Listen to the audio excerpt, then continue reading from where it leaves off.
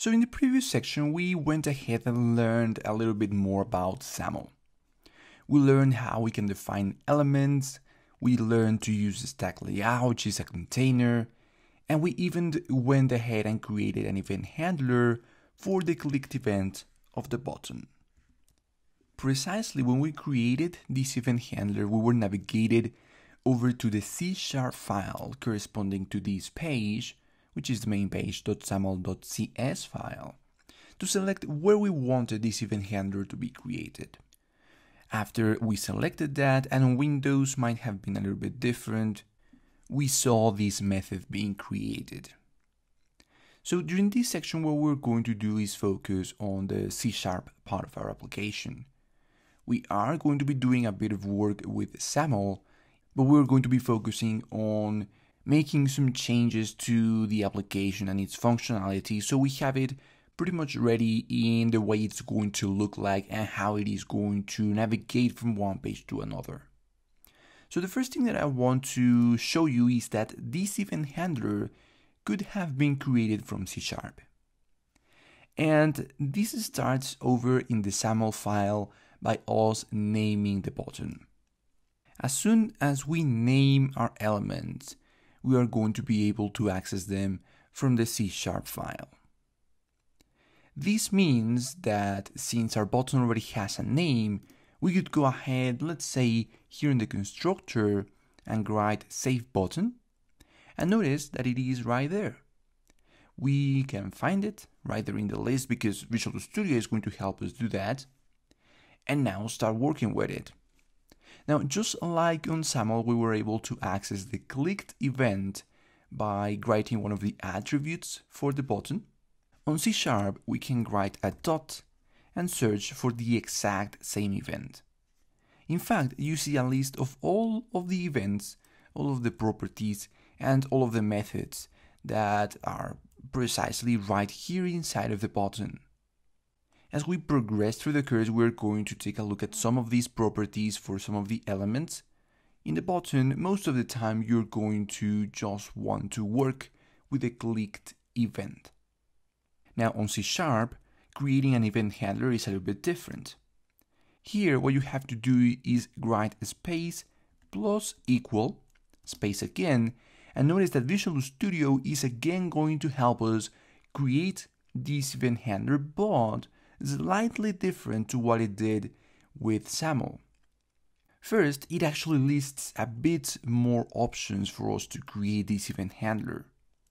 The first one is to create a new method, which is exactly what we did with XAML.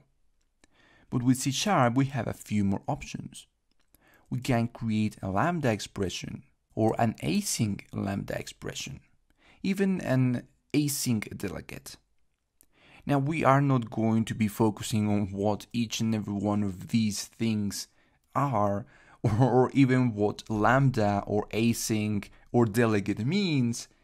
Let's just for now focus on the fact that you can create a method. And notice that the rest is going to be exactly the same. You will have to select where that method is going to be located, and this is going to be created. So here is how you create that event handler here in C Sharp.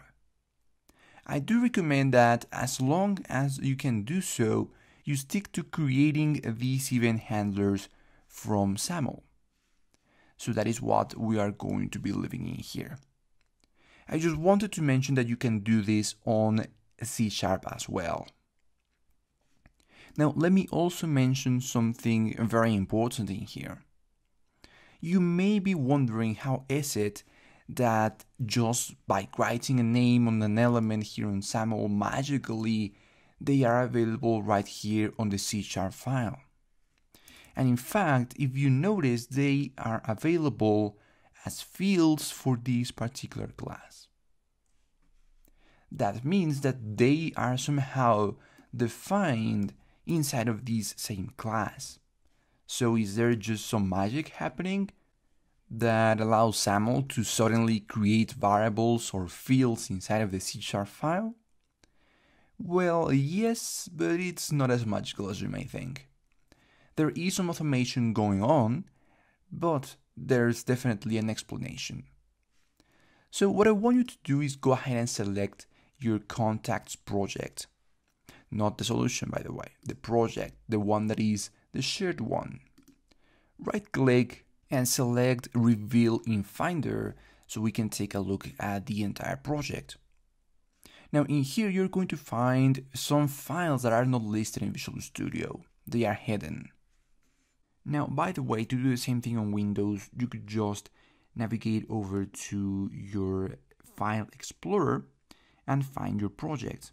Typically, it is going to be on Documents, Visual Studio 2017, and Projects.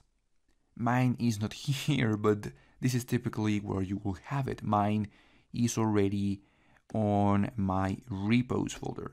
However, if you're on Windows, there is a faster way. Right from Visual Studio, you can select your contacts project from the Solution Explorer and find this icon that is called Show All Files. If you select it, you are going to find here those files that are not displayed by default, including the OBJ folder that we're about to talk about. So let's jump back over to my Mac because from here on out it's just the same thing.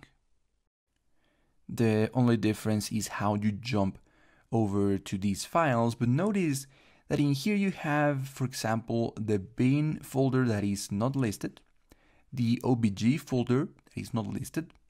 The others are simply the app.xaml and the main page.xaml and main page.xaml.cs that we do have access to. Now what I want you to do is go ahead and open the obj folder. In here, open the debug folder and the netstandard 2.0 folder. Notice that here there are some files that are complementary to the app class and to the main page class. So there is actually a main page.xaml.g.cs file in here. And the same for the app class, but I want you to focus on this main page class or C sharp file. This is actually defining a little bit more about the same main page class that we have been working with.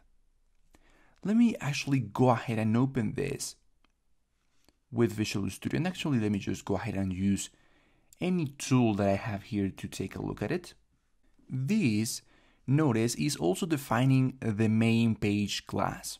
And I will talk a little bit more about this in just a second. But notice that it is in here where the save button is being defined.